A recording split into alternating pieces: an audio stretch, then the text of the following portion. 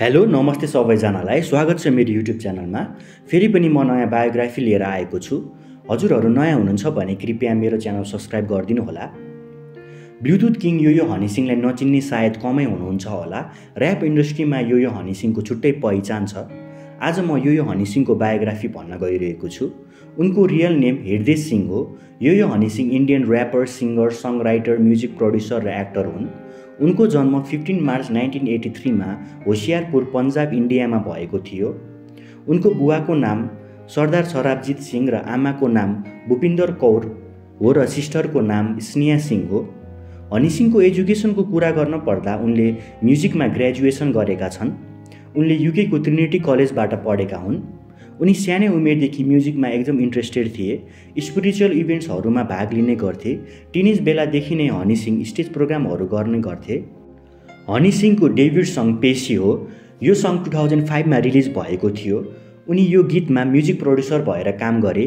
To thousand सिक्समा हनी सिंहले glassy गीत निकाले। यो गीतको लागि उनले इटिसी अवार्ड पनि पाए। त्यसपछि उनले rebirth luck of the beginning र द नेक्स्ट लेभल एल्बम निकाले। इन्टरनेसनल भिलेजर एल्बम निस्किएपछि उनी एकदम फेमस भए। यो एल्बम टु थाउजन्ड इलेभेनमा रिलिज भएको थियो। टु थाउजन्ड इलेभेनमा नै हनी सिंहले बलिउडमा डेब्यु गरे। सकल्पे मज्जा फिल्म उनको फर्स्ट बलिउडको डेब्यु फिल्म थियो। यो फिल्ममा उनले गीत गाएका छन्। खेलाडी race two son of Sardar cocktail जस्ता फिल्महरूमा उनले सङ्ग्सहरू दिएका छन्। त्यसका साथसाथै उनले Mirza the untold story the Xpose Zorawar फिल्ममा उनले एक्टिङ पनि गरेका छन्। उनको एक्टिङ पनि निकै राम्रो थियो। हनी सिंह इन्डियन र स्टारको जज पनि भएका हुन्। उनले धेरै अवार्ड्सहरू पनि पाएका छन्। हनी सिंहको सबै कुरा राम्रो चल्दै थियो तर टु थाउजन्ड फिफ्टिनमा उनलाई बाइपोलर डिसअर्डर भयो।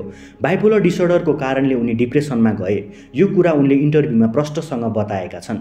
हनी सिंहले वर्ल्डको आठवटा डक्टरहरू हायर गरेर उनको ट्रिटमेन्ट गर्न थाले। यो समय हनी सिंहको लागि धेरै कठिन समय थियो तर उनले डिप्रेसनबाट निस्केर कमब्याक गरे। त्यसपछि उनले धेरै म्युजिकहरू ड्रप गरे। उनको विवाह शालिनी तलवारसँग भएको थियो तर टु थाउजन्ड ट्वेन्टी टूमा डिभोर्स भयो। हनी सिंहलाई लिरिक्स कन्ट्रोभर्सीको कारणले दिल्ली कोर्टमा छ महिनासम्म केस पनि चलेको थियो तर उनले केस जिते। रिसेन्टली हनी सिंहले कलास्तार सङ्घको ट्रेलर रिलिज गरेका छन्। यो ट्रेलर एकदम ट्रेन्डिङमा छ। कलास्तार सङ्ग देशी कलाकारको सेकेन्ड भर्जन सङ्ग हो। उनले अब पर्फेक्ट कमब्याक गर्ने बताएका छन्। हनी सिंहले मिलियन्स अफ युथहरूलाई इन्सपायर गरेका छन्। उनको लाइफ स्टोरी पनि निकै इन्सपायरिङ छ। यो स्थानसम्म आउनुमा उनले धेरै सङ्घर्ष गरेका छन्। उनको आउने प्रोजेक्ट्सहरूको लागि मेरो तर्फबाट शुभकामना छ।